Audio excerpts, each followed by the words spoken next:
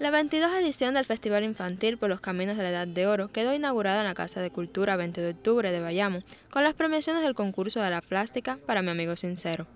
Este espacio, que recoge diversas manifestaciones artísticas, se realiza en saludo al aniversario 171 del nacimiento del apóstol nacional José Martí. Este festival, que es tradición en nuestra provincia, recoge actividades de la plástica, literatura, música, teatro y danza. Se caracteriza por su carácter competitivo y sus participantes cuentan con edades comprendidas de 5 a 18 años de edad y vienen de diversas enseñanzas educativas.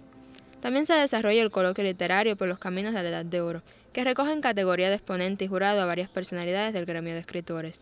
Este año se están convocando diferentes eh, festivales, el Festival de Teatro, Danza, Festival, de Música, el concurso para mi amigo sincero de Artes Plásticas y en el caso de literatura, el coloquio literario por los caminos de la edad de oro y el concurso provincial literario Cultivo una Rosa Blanca.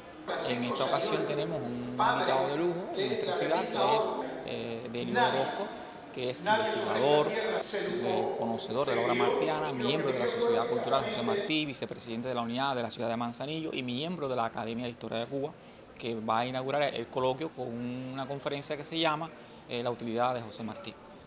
Y también en ese coloquio van a estar como jurados los escritores Omar Parada Soto, el historiador de la ciudad, Ludín Fonseca, y el escritor Edgardo Higinio Rodríguez.